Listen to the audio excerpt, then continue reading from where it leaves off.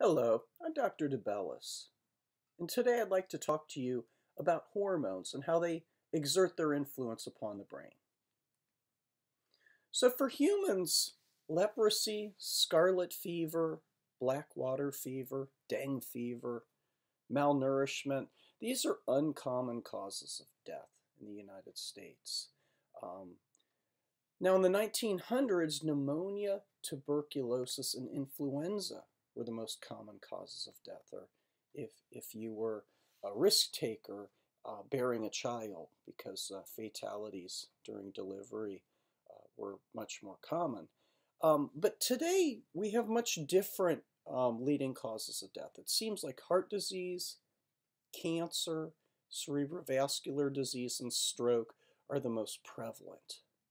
But we find that this is not the case when we're looking at many animals. These are actually quite uncommon. So for human beings, it seems like our, our longevity is determined by uh, a different set of forces and conditions. So one of the questions is why is this? Why is this disparity? Today we're going to talk about hormones. Hormones are chemicals that are secreted by endocrine glands, which are conveyed by the bloodstream and regulate target tissues. Um, so now endocrine glands release hormones that promote growth, proliferation, and differentiation and modulate cell activity within the body. Um, I'm going to quote Robert Sapolsky here. I really like his description description of homeostasis that there is a single optimal level number and amount for any given measure in the body you reach that ideal set point through some local regulatory mechanism. Uh, for instance, if there's a water shortage, your body homeostatic solution, as the kidneys are the ones that figure this out, tighten things up, produce less urine for water conservation. Now, this is different from this newer idea that we have of allostasis. Allostasis recognizes that any given set point can be regulated in a zillion different ways, each with its own consequences. Or uh, suppose there's a water shortage in your body, the allostatic solution is uh, the brain figures this out, tells the kidneys to do their thing, and sends signals to withdraw water from parts of your body where it easily evaporates, makes you feel thirsty. They're all different routes, right? It's kind of like uh, if there's a water shortage in your neighborhood, there are all sorts of things that you can do, whether uh, you wash your automobile less often or wash your clothes less often, or whether you re-landscape your front yard with, with um, uh, plants that consume less, less water. Um, so this idea of allostasis has come to sort of replace the idea of homeostasis. So when we talk about the endocrine system, we're going to talk about different glands. We're going to talk about the hypothalamus, which plays a uh, an important role in the control of hormone secretions, as well as the pineal gland, which exerts its effect um, in reproductive maturation and body rhythms. We're going to really focus a lot on the anterior and posterior pituitary. The anterior pituitary um, controls hormone secretions by the thyroid, the adrenal cortex, the gonads. Um, and the posterior pituitary um, is important for water balance, salt balance. It's also important for the release of certain um, hormones that are important for bonding and childbearing. Um, we're also going to talk about the thyroid, which uh, plays a, a key role in growth and development, as well as metabolic rate. And this is important for psychologists to be aware of because oftentimes thyroid dysfunction can mimic certain psychological conditions such as depression and anxiety. We're also going to talk about the adrenal glands, the outer bark, the adrenal cortex, which is important for salt and carbohydrate metabolism, as well as inflammatory reactions. And then finally, the inner Adrenal medulla is important for emotional arousal. We'll be talking about this topic throughout my lectures. We're also going to talk about the pancreas, which is important for sugar metabolism, the gut, which is important for digestion and appetite control, and has a, a key role in, in how we feel, actually. We talked about how serotonin, 90% of serotonin is actually in the gut. So um, you can probably see what an impact um, the, the gut has on, on the way that we feel emotionally. And then finally, the gonads, which play a key role in body development and the maintenance of reproductive organs in adults. There are different types of chemical communication in the body, and I'd like to talk about these. Uh, I divide these into the non-social and the social chemical communication. The non-social includes synaptic, which we've talked about a great deal in my previous lectures. We also have the hormonal, which we're going to talk about. Um, then autocrine and paracrine, which we'll also talk about. And the social chemical communication includes pheromones, allomones, and kairomones. So the non-social chemical communications, what we're going to start with, and this is synaptic, which you're familiar with. Synaptic communication involves chemical release and diffusion across a synapse. So you can see the neurotransmitter travels from the presynaptic to the postsynaptic membrane where it causes action, or great, it causes graded potentials. Now, endocrine communication is communication in which a hormone's release into the bloodstream, which acts as sort of a, a makeshift synapse, larger, albeit, but um, the hormone's released into the bloodstream, and then it acts upon a target tissue that's downstream. Um, another type of non-social communication is autocrine. It's when a released chemical acts on the releasing cell. So it goes back to the presynaptic membrane and then it activates. And this will actually impact the rate at which that neurotransmitter is released in the future. We also have paracrine communication.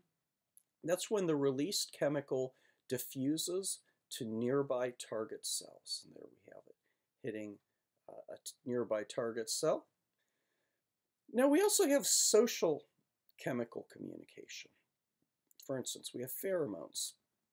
Pheromones are released into the environment to communicate between individuals of the same species.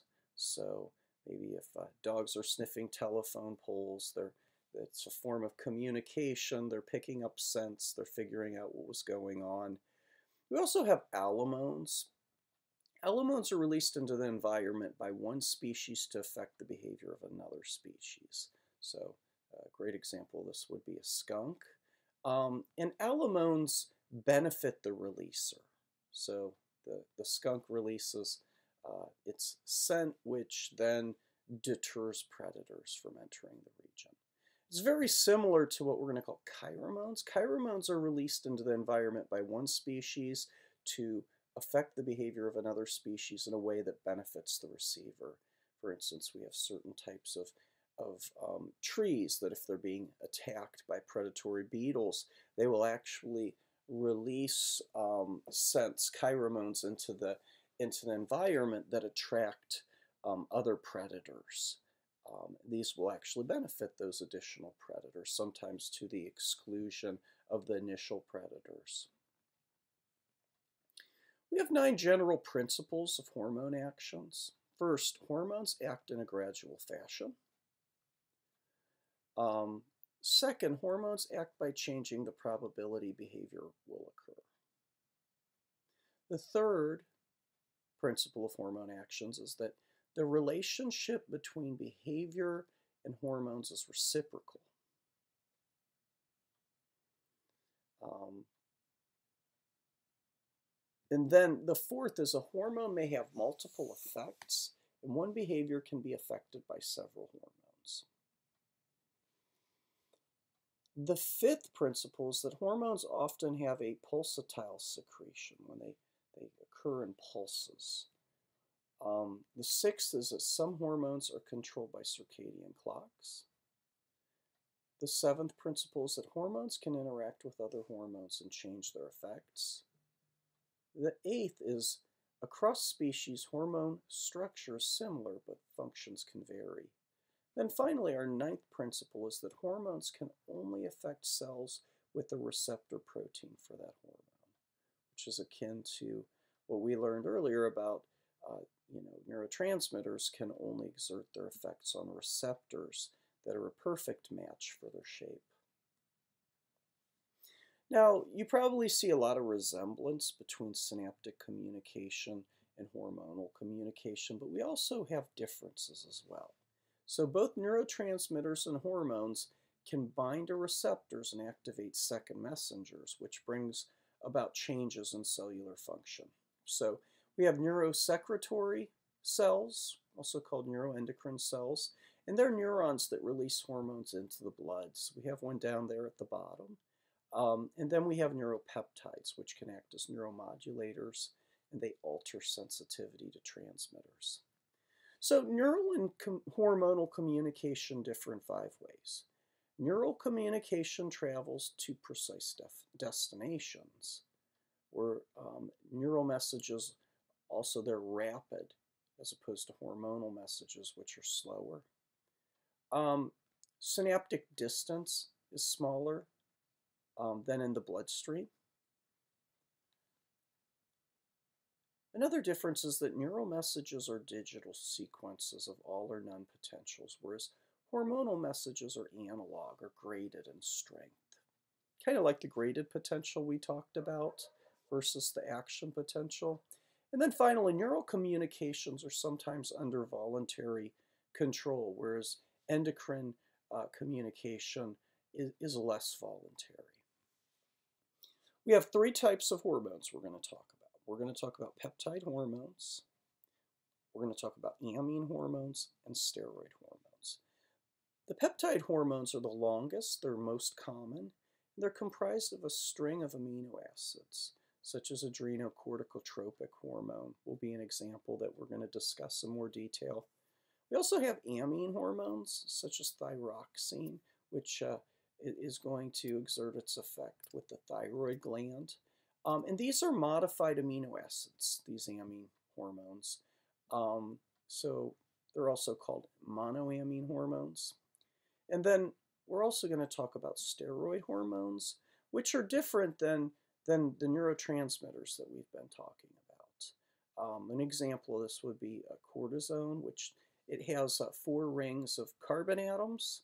Um, so hormones don't typically bind to specific ionotropic receptors on the surface of a cell.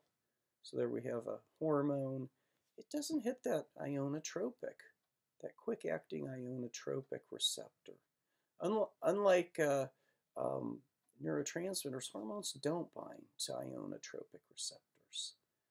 Um, one of the receptors they do bind to um, Protein and amine hormones bind to specific metabotropic receptors on the surface of the cell and cause the release of a second messenger in the cell.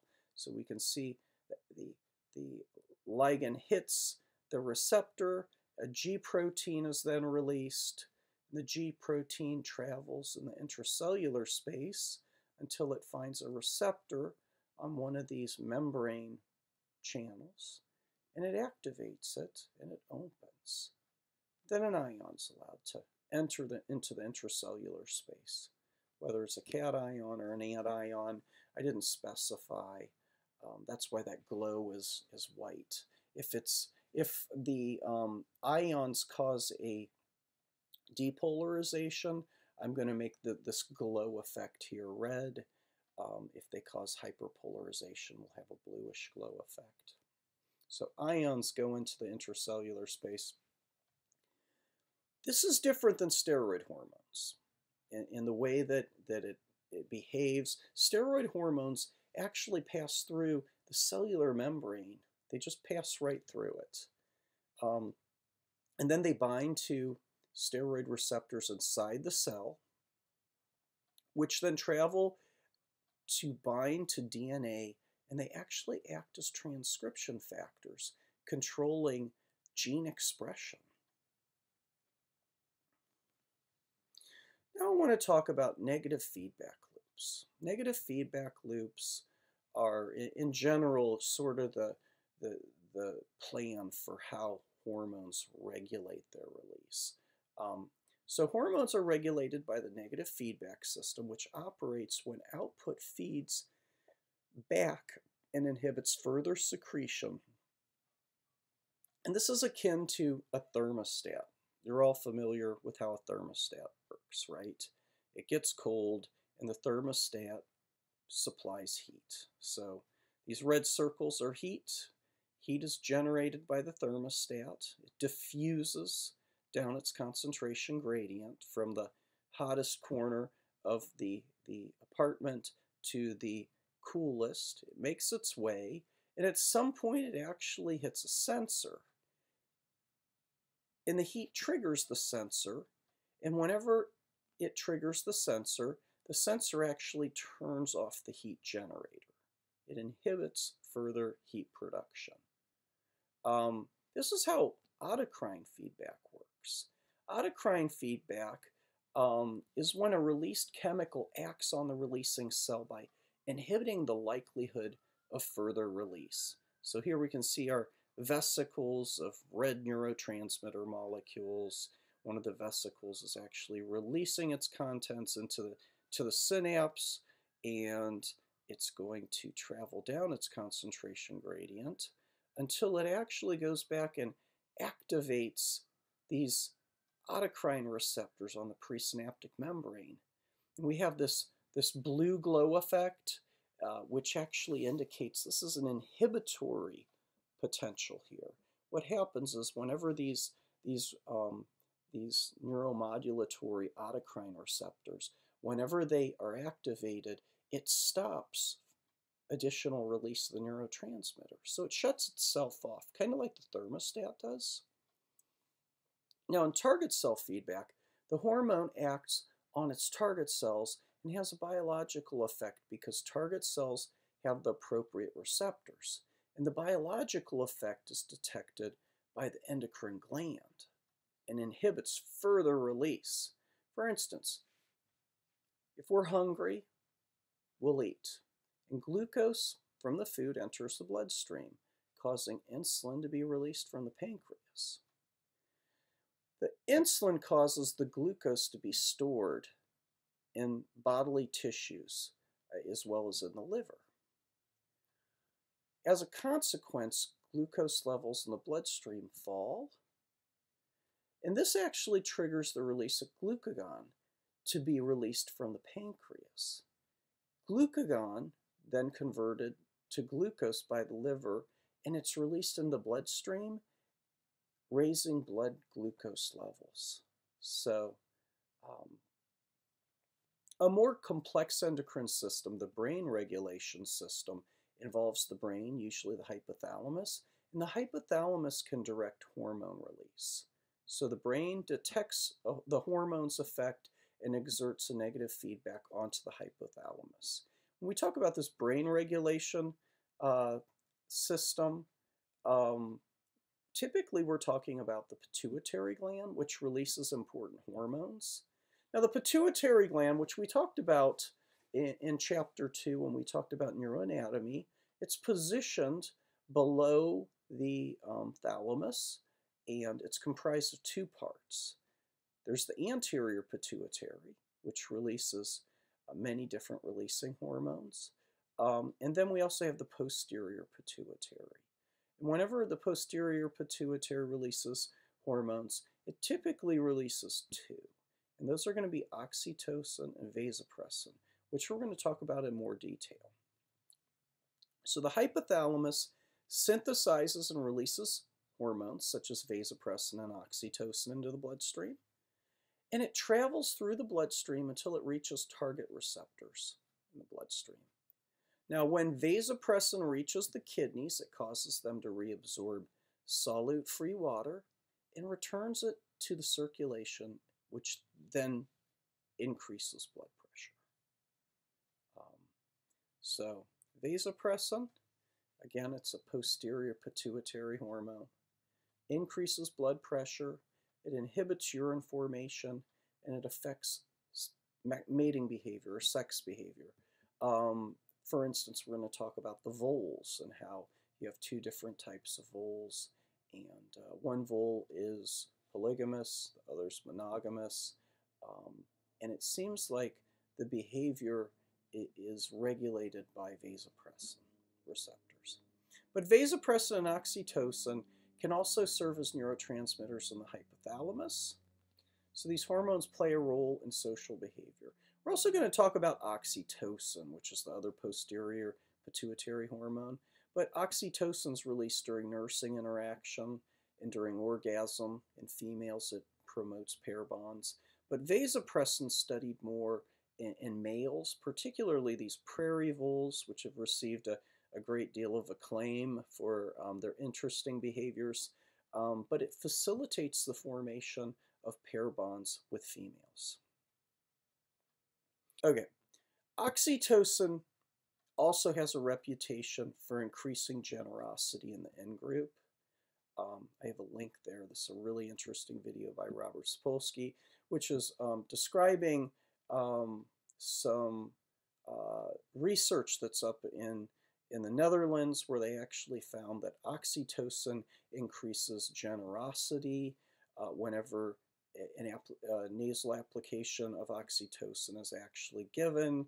Unfortunately, it seems like it's preferential toward um, generosity in the in group.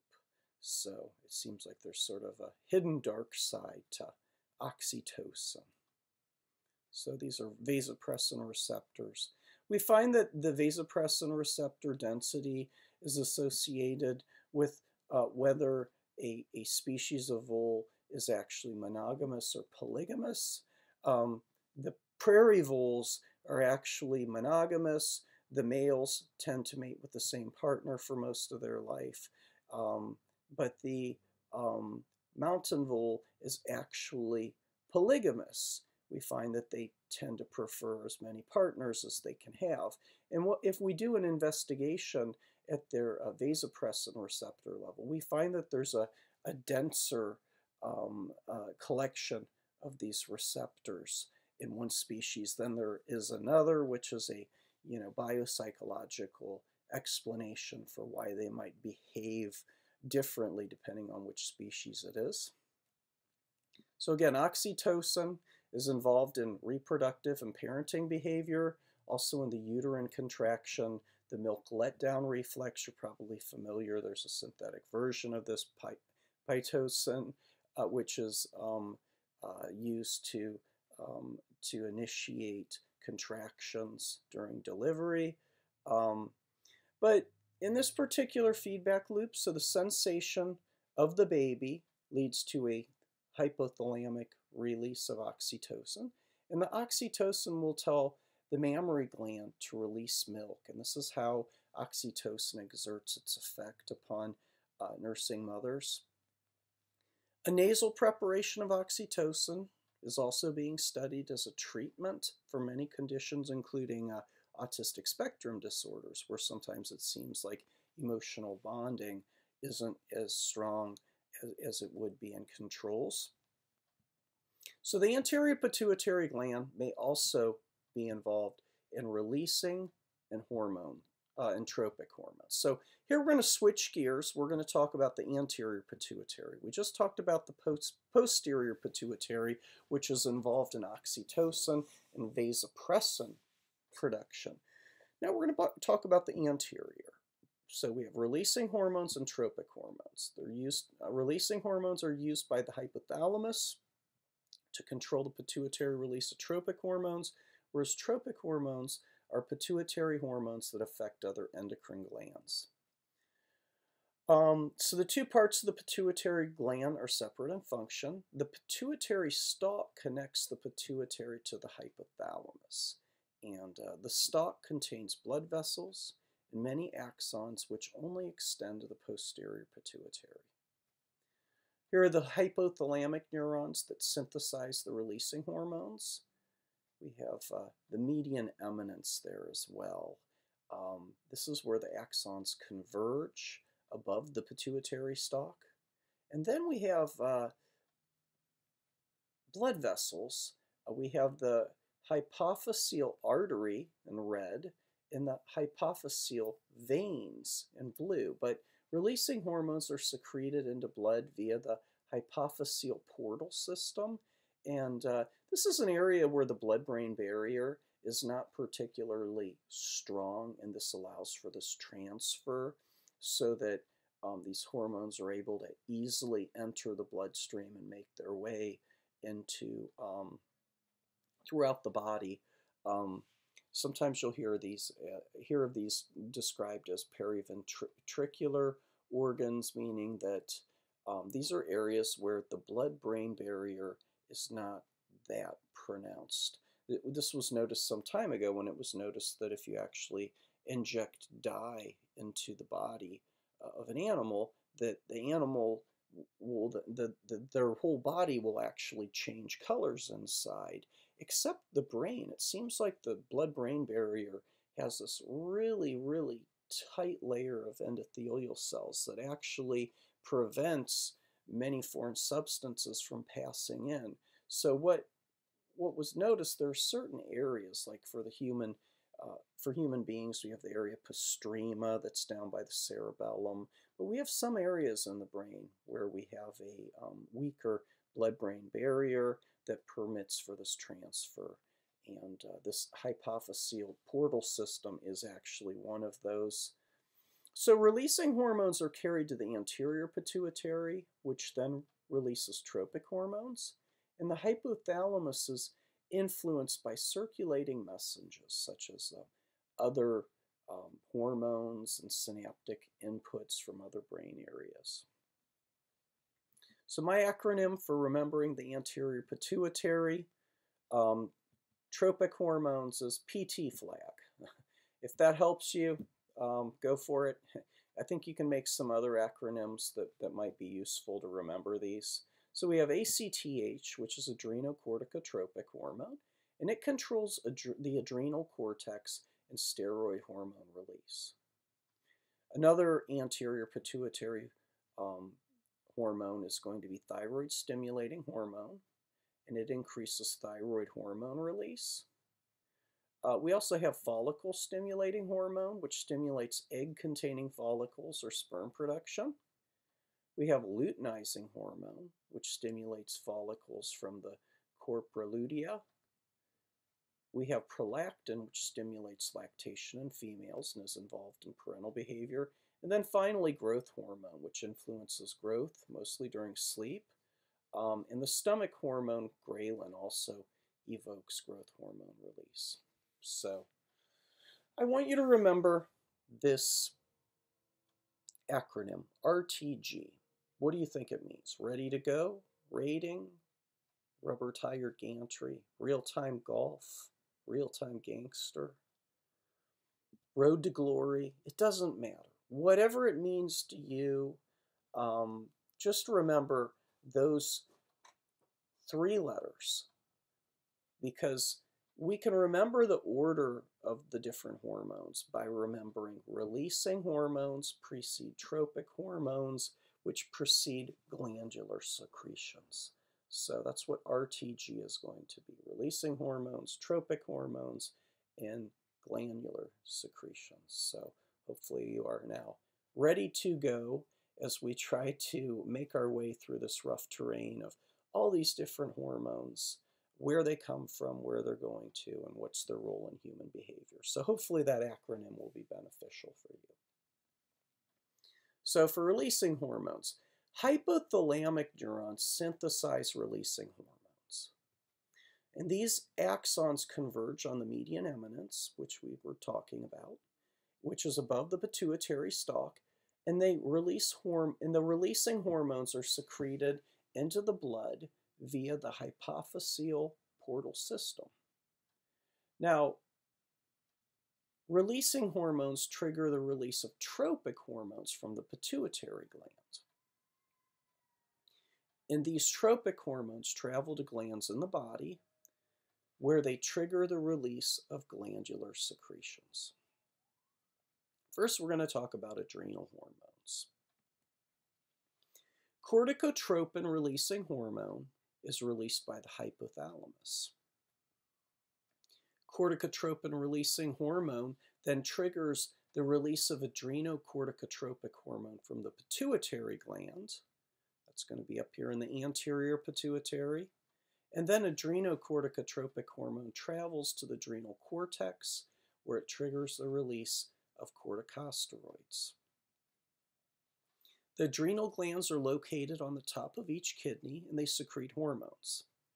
In mammals, the outer 80% of the gland is the adrenal cortex, and the core 20% is the adrenal medulla. The adrenal cortex secretes steroid hormones called adrenocorticoids. We have the glucocorticoids, which are involved in glucose metabolism. Um, we also have cortisol, which is a glucocorticoid stress hormone that increases blood glucose and breaks down protein. The adrenal medulla releases amine hormones. Um, these are going to be epinephrine, which is also called adrenaline, and norepinephrine, also called noradrenaline.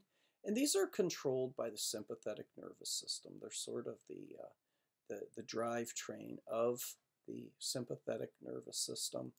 Um, in order to help you remember this, um, the, the adrenal hormones um, are involved in the three S's, salt, sugar, and sex, whereas the glucocorticoids are involved in, in um, glucose control, stress, and immunity. The mineral corticoids are involved in fluid electrolyte balance and blood pressure regulation, while the androgens um, are important for sex drive and sex, sex feature development. But the mineral corticoids are adrenal steroids that affect ion concentrations in tissues, uh, like aldosterone, which acts on the kidneys to retain sodium, whereas sex steroids such as androstenedione are steroids that are produced in the adrenal cortex, which regulate hair growth. Now that we've talked about adrenal hormones, I'd like to talk about thyroid hormones. So, thyrotropin releasing hormones released by the hypothalamus. Um, now, thyroid, thyrotropin releasing hormones triggers the release of thyroid stimulating hormone from the pituitary gland, and thyroid stimulating hormone travels to the adrenal cortex where it triggers the release of thyroid hormones. So the thyroid gland produces thyroid hormones, and thyroid stimulating hormone is secreted by the pituitary, and its release is controlled by negative feedback from blood vessels and by thyrotropin releasing hormone from the hypothalamus. Thyroid hormones contain iodine and depend on its supply. Um, this condition over on the right, um, the enlargement on, on this individual's neck is a goiter. Goiter is a swelling of the thyroid gland resulting from iodine deficiency. Um, an early thyroid deficiency can result in cretinism or congenital hypothyroidism, as well as MR. Now, gonadotropin releasing hormone and gonadotropin inhibiting hormone are released by the, the hypothalamus. Gonadotropin releasing hormone and gonadotropin inhibiting hormone trigger the release of luteinizing hormone and follicle stimulating hormone from the pituitary gland. Um, and luteinizing hormone and follicle stimulating hormone uh, travel to the testes or ovaries where they trigger the release of androgens or estrogen. We're going to talk about prolactin. Prolactin releasing hormone and prolactin inhibiting hormone are released by the hypothalamus. Prolactin releasing hormone and prolactin hormone trigger the release of prolactin from the pituitary gland. And uh, prolactin travels to the mammary glands and the breasts where it triggers milk production. Growth hormone. Um, Somatocrinin and somatostatin are released by the hypothalamus, and somatocrinin and somatostatin trigger the release of growth hormone from the pituitary gland, and then growth hormone travels to the bones where it triggers bone growth. Psychosocial dwarfism is a failure to grow which is caused by stress early in life.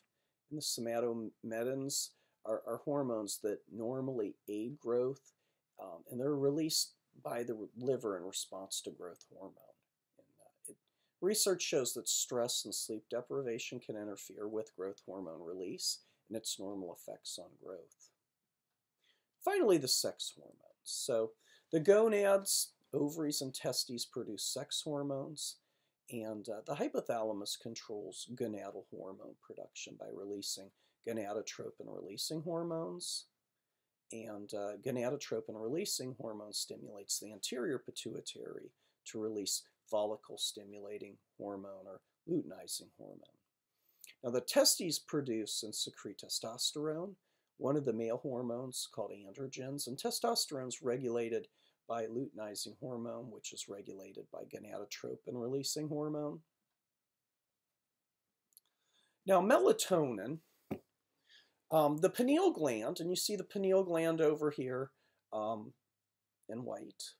Um, this one's slightly enlarged here. Um, the pineal gland secretes melatonin, mostly at night, which then provides a signal that tracks day length and the seasons. And it's been implicated in sleep cycles as well as mood disorders. Um, now, endocrine pathology can resemble psychiatric disorders. One type of uh, attention deficit hyperactivity disorder involves decreased sensitivity to thyroid hormone. Um, another finding is that Cushing's disease, result, which results from long-term excess of glucocorticoids, um, uh, with symptoms of fatigue and depression. And the hormonal and neural systems exert reciprocal influences on each other. Um, experience affect hor affects hormone secretion, and hormones affect behavior, and uh, behavior then affects future experiences. Um, so I would like to thank you um, for, for watching my, my video here on my presentation for um, hormones in the brain. And uh, the next topic that I would like to discuss with you in my, in my next lecture is going to be uh, the relationship between evolution, behavior, and the brain. Thank you so much.